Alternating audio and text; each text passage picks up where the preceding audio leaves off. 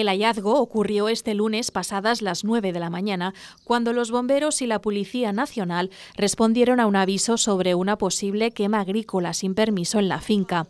Al llegar al lugar se encontraron con el detenido, quien había prendido una hoguera y amenazaba a los agentes con un bidón de gasolina y una antorcha encendida. Tras enfrentarse a la policía, fue arrestado. Durante la inspección posterior dentro de la casa, se descubrió el cuerpo sin vida de un hombre en el pasillo, con signos evidentes de muerte violenta, quien fue identificado como su hermano. Posteriormente se encontró un cuerpo carbonizado en los restos de la hoguera, presumiblemente perteneciente a la madre del sospechoso.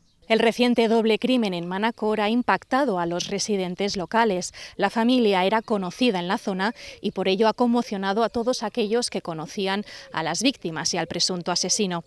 Además, los vecinos han afirmado que no ha habido recientes altercados entre ellos. Tenia relació quan sortíem per aquí. Hola, Miquel, com va? Va bé? Sí, és una persona servicial. Me va, va veure el cotxe, diu. Ah, és en Miquel, sabeu que ahir va anar de juerga. Això el que van comentar nosaltres. I diu, no de juerga, i té tots els vidres apanyats i no té cots. Ja hi havia la policia, ja hi eren tots aquí, ja no.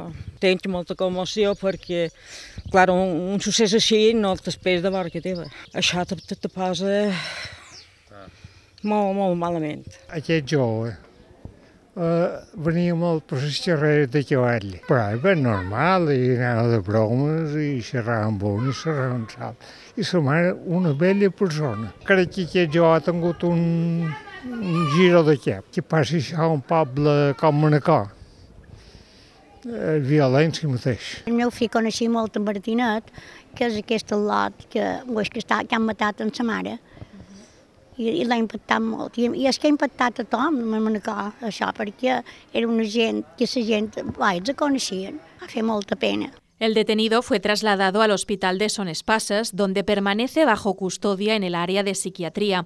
Los agentes del grupo de homicidios han acudido al hospital para intentar interrogarlo.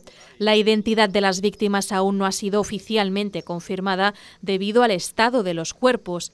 Se realizarán pruebas de ADN para confirmar su identidad.